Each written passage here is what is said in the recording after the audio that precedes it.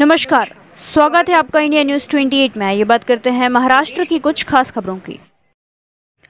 महाराष्ट्र के नागपुर के सावनेर में मानसिक रोगी को बीच सड़क में जानवर की तरह पीटा। समाज सेवी हितेश बंसोट की रिपोर्ट पर मामला दर्ज। मुख्य अपराधी संजय गुप्ता गिरफ्त से बाहर। सावनेर थाना अंतर्गत नागपुर रोड पर करीब तीन किलोमीटर की दूरी पर नाग मंदिर में बैठे एक मानसिक रोगी को करीब के दुकानदार संजय गुप्ता व दुकान में काम करने वाले दो युवाओं ने लाठी डंडों से या अमानुषता से पीटकर जान से मारने की कोशिश की। प्राप्त जानकारी के अनुसार पीड़ित मानसिक रोगी पिछले कुछ दिनों से शहर की सड़कों पर घूमता था व रात को नाग मंदिर में सोता था।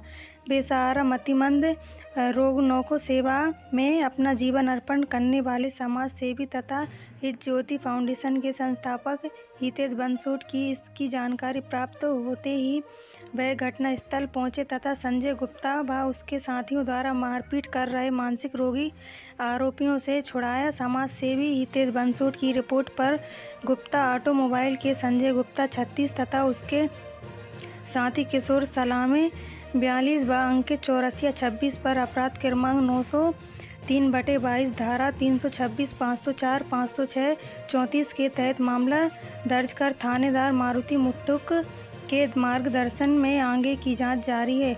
वहीं गंभीर रूप से जख्मी मानसिक रोगी को ज्योति हित ज्योति फाउंडेशन के हितेश बंसोट तथा थानेदार मारुति मुठुक की मदद से आगे के इलाज हेतु यावतमाल रवाना किया गया है। सामने संवाददाता मुकेश झरबड़ी की रिपोर्ट।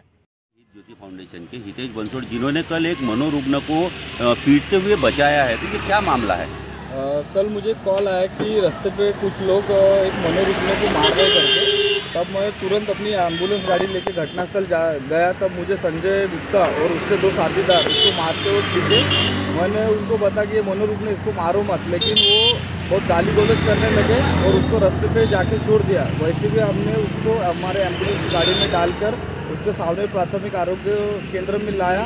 उसके बाद हमने सावनेर पुलिस स्टेशन में रिपोर्ट दर्ज की. तो उसके बाद डॉक्टर का कॉल आया कि इसको इमरजेंसी में नागपुर लेके जाना पड़ता है क्योंकि सर पे मार होने से और उसको पीठ दर्द में ज़्यादा मार होने से उसको यानी ये आ रहा था झटके आ रहे थे तो उसको हमने नागपुर मेडिकल हॉस्पिटल यहाँ पे एडमिट किया। मेडिकल में एडमिट किए। पुलिस ने मामला दर्ज कर लिया है और मामले की जाँच भी जारी है।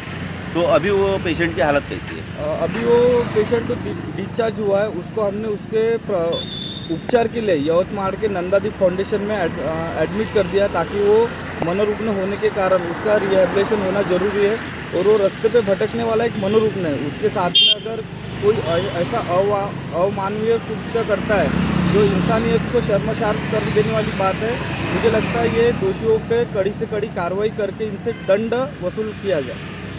मेरा भी मानना ये है कि वो जो मनोरुग्ण होते हैं, वो जानबूझ के तो मनोरुग्ण नहीं होते, उनकी हालत ख़राब रहती है दिमाग से कमज़ोर रहती है, इसीलिए वो घूमते हैं। तो इस प्रकार के कृत्य को आप कैसे देखते हैं? आप एक समाज सेवी हो और मनोरुग्णों के लिए आप काम करते हो। हाँ ये जानबूझ के कोई मनोरुग्ण नहीं होता, कुछ एक सिकोपेनिया जैसा आजार उनको पीड़ित कर देता, वो इसलिए वो रास्ते से भटकते रहते हैं और ऐसे कुछ लाचार लोग रहते हैं जो उनको बेवजह मारपीट करते हैं।